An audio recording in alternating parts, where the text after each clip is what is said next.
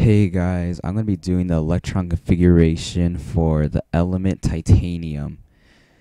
So over here on the right is the periodic table of elements and the first two left columns over here in pink and purple that is called the S energy level and this holds to two electrons.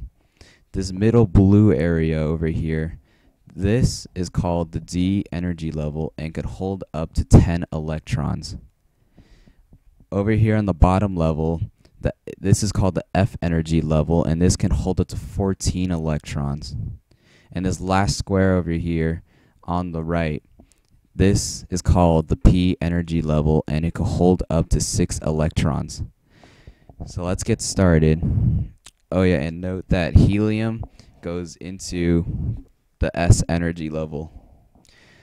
So we're going for titanium, and it's atomic number 22. So let's get started. So the first row, so you're in row one in the S energy level, and this can hold up to two electrons. So let's write that down. So it's in row one, it's an energy level energy level S, and this can hold up to two electrons. So that's how we're going to be label labeling this so for the next level, you go to row 2, and you're still in energy level S, and it holds up to 2 electrons.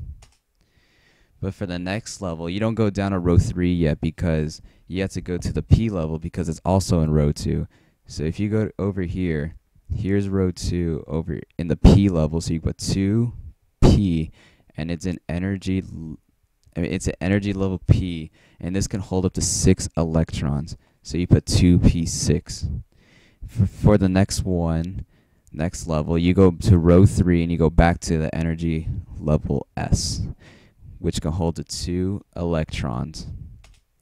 And then the next one, you keep going, go back to the P level. So you go 3p6 because it has it hold, the P level holds 6 electrons. For the next one, you go you go to the fourth row, so you go 4s2, you go back. And then for the next one, you don't go back to the P level, you go actually back I mean you go into the blue area, the D the D energy level over here. So, and this can, can hold up to 10 electrons. So, because the atomic number is 22, we don't have to put number 10 at the electron spot. So let me show you. So there's energy level P in row 4. So 4, not P, I'm sorry, D. 4D2. You don't put 10 over here because we're only going for titanium and it has atomic number 22. So you don't fill you don't fill up the whole row right here because it, it stops right here.